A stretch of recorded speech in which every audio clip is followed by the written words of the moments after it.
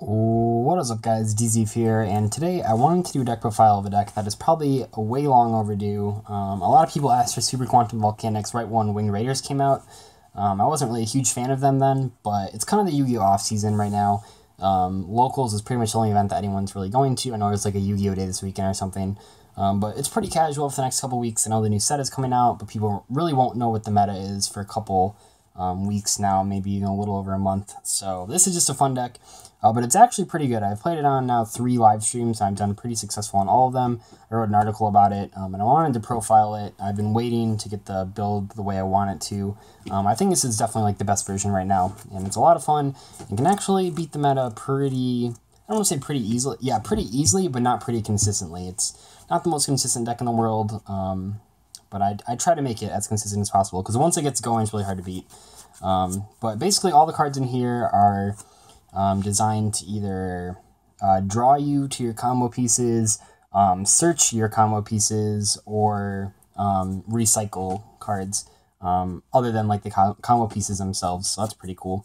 Um, but yeah, let's just get right into it then.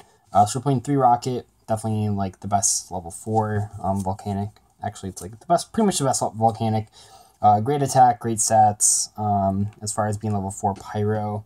Um, good for shuffling back with Firestorm Guards if you draw a bad hand. Um, but Rocket's just a good standalone card, um, and it's one of the cards that you want to open um, as your normal summon. We're also playing 3 Shell. Um, this card It serves a lot of purposes. Obviously, it's reload fodder, but it's also fodder for uh, the field spell for Super Quantum, so that's really cool.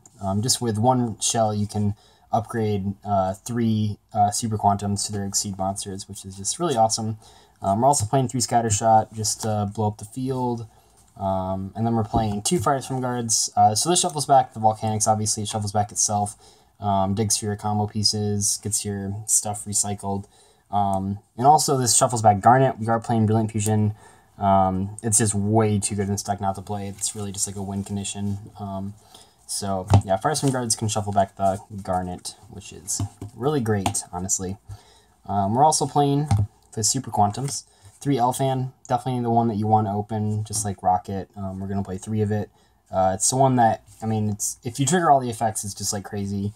Um, it just gets you going. So definitely got to play three of that guy. And we're also playing two of each of the different ones. So we're playing two red layer, two green layer, and two blue layer. I think this is the best ratios. In my testing, the only one that I've ever found I wanted three of or to see like more of is the red layer.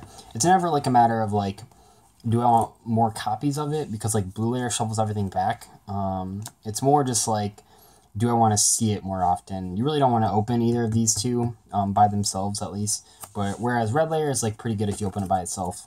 So that's the only one that I'd probably play three of. But I think right now the three Alphan and the two of all of them is the best ratio that I've found. But feel free to mix it up if you want to. Um, we're also just playing a Garnet and a Trick Clown. The Trick Clown is like super important in this deck. I normally wouldn't play this, like, I'd just play the Brilliant Fusion or whatever. But uh, Trick Clown is just super good because it puts a level 4 monster on your field, which makes making Great Magnus with more material um, a lot easier. So, yeah. You only need the one Garnet because you can shuffle back with Firestorm Guards. We're also playing 3 Brilliant Fusion. Um, obviously, like one of my favorite cards in the game. Probably just going to keep playing this index until something happens to it in the ban list. But uh, yeah, just fantastic card. Uh, I bumped up to three Instant Fusion. I was playing three Twin Twisters instead of uh, the third Instant Fusion, but I think Instant Fusions is better. Um, when you're going first, you really just want to open like Instant Fusion or E-Telly or Brilliant Fusion, um, any of those cards, or if you have multiples of those, you can usually usually make Great Magnus pretty easily. So yeah, I think that's the right way to go. Um, we're also playing two of the Field Spell and two Terraforming. Um, you can just shuffle this back with blue lay if you really want to, but really the reason we're doing this is that if uh, it's better to draw a terraforming than it is this because it takes um, a card out of your deck instead of just being the field spell. Um, so it prevents you from like drawing like multiples because if you have like a, a terraforming and like these three left in deck, when you activate the terraforming, it takes this one out. So now you only have like uh, two bad draws in your deck left. Um, whereas if these, if all three of these uh, were like um, or like if you had a three field spell and one terraforming, and you drew like this thing that would be a terraforming, but it's a field spell. Now you have three bad draws in your deck, so you really want to just see the first field spell. It is good to not have to search it, but you don't want to see you don't want to see the multiples, and you don't want to see it after the first one. So I think playing the two and two is the most consistent ratio. We're also playing two Twin Twisters and two E-Telly. quick play spells are good. Um, yeah, E-Tail is really powerful. It's almost an auto win when you open it. Even.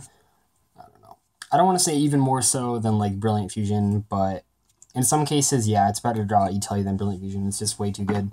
Um, and then Twin Twisters, I don't know. If you, I would definitely side the third, obviously, but I think two in the main is fine because a lot of when you go when you play the deck and you win the die roll, you want to go first. So opening Twin Twisters is just not very good when you're going first. Um, and then just one Upstart Goblin.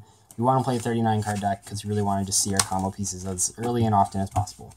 Um, the only traps are reloads.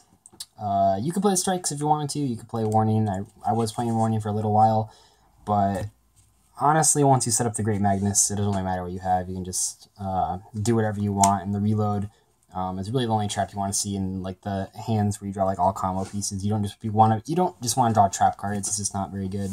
Um, so yeah. For the extra deck, we're playing one of each of the Super Quantums. I think this is the right way to go. Um, once you summon Magnus, you usually win anyway. But uh, you can shuffle all these back with Blue Layer. I don't think it's ever... So the only time it would come up when you needed multiples is when they negate your Blue Layer, which they never do, or uh, when you if you like need to summon two of them at the same time. Um, but that really never happens. The only one... No, I, I honestly can't say there's ever been a time where I needed to summon two of these at the same time. Like, I guess two of these would be fine against like pendulums, and like two of this is fine against monarchs, and two of this is fine against BA. Um, but really, you only need one of each. Uh, if your hand is like good enough to make like two of these, like you can probably just like make a different rank four, or you can just make like a different rank four or five, and it'll still be like the same result. Uh, we're also playing one emerald. This shuffles back the things that Firestorm guards and Blue Layer can't. Namely, when I when I summon this, I'm almost always shuffling back a Seraphinite, a Trick Clown, and then just any random third card because um, those, those, those are the main cards you can't recover. Actually, yeah, those are the only cards, only monsters you can't recover are extra deck monsters, Trick Clown, and uh, Seraphinite. I guess Seraphinite's an extra deck monster, but you get the point. Um, so yeah, Emerald's really important. We're shuffling those back. Playing one Castel, one Dweller, and one Giant Hand. Um, I think these are necessary. I don't know how I feel with this one. Uh, you can play like a Rafflesia and play like a Bottomless in your deck. Um, I just don't want to draw the Bottomless ever. It's really bad. Um, you get this. I'm not playing Utopia the Lightning. I don't think there's room. Um, I don't know. Like I'll show you the rank five. So we're playing uh, Durandal, Volcasaurus, and uh, Gaia Dragon. So if you want to play Lightning, I would say cut these two. I think these two are the most cuttable. Um, I think you need to keep the Volcasaurus in because there were a bunch of times that I lost on the stream because I didn't have it. And you absolutely need to keep the Durandal in because if you open like Red Layer and Instant Fusion or Brilliant Fusion, like you definitely want to make the Durandal if your hand's bad. So I think these two are the most cuttable. These two are all, or these four are all unnecessary. Are all unnecessary. No, it sounded like it said one necessary. Whatever. Um, for the Instant Fusion targets, we're playing Dragoness, Norden, and Panzer. These are just the best in their classes. Um, Panzer's only relevant rank or level five fusion. Uh, this fusion doesn't actually matter because you can never attack with it. Um, and then Norden's obviously just the best, probably, fusion monster to get with that. Um, then just one Seraphinite. Uh, even though you can shuffle back the Garnet with Firestorm Guards, usually you can also just make an Emerald to shuffle this back. Um, I just... I felt like every time that I could resolve a second Brilliant Fusion, I could make an Emerald before I did, so I never felt like the need to play two of these. Um, I don't know. If it really comes up for you, you can probably take out, like, the Giant Hand or the Gaia Dragon if you want to. Um, but yeah, that was uh, Super Quantum Volcanics. I think they are a lot of fun. Um, there's so many cool interactions in this deck that you find out when you like start to play it. Um, but I've had a lot of fun with it, and I'll probably play it more. And probably be another deck profile later. But I will check you guys later.